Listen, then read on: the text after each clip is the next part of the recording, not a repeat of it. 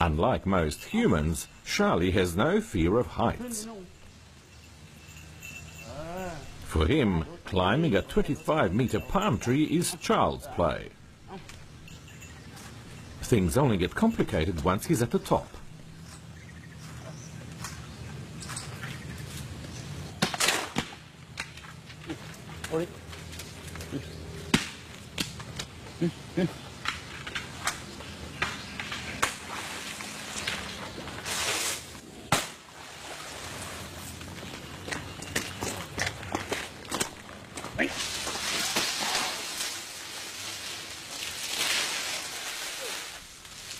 This is Charlie's special skill, collecting coconuts for his master.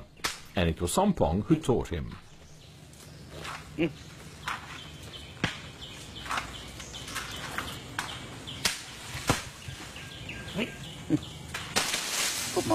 Lived with monkeys since the age of 11. They help him with his coconut plantation, but first he has to train them.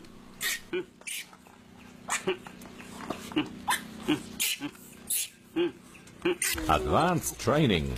It's hardly the obvious thing to do, to twist a coconut while hanging from a branch.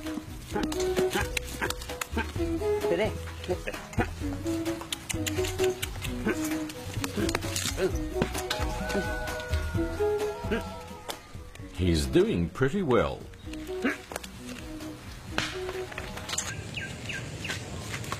Oh, my God.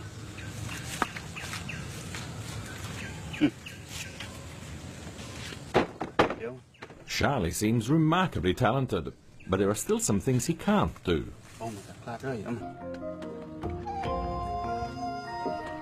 Charlie is Sompong's best pupil, so he certainly deserves this reward.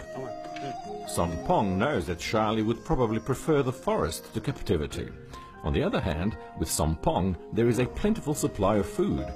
Sompong thinks they have a kind of tacit agreement, each to help each other.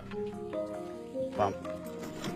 The work that Sompong and Charlie do together isn't so unusual in southern Thailand. Monkeys have been trained to collect coconuts there for a long time now.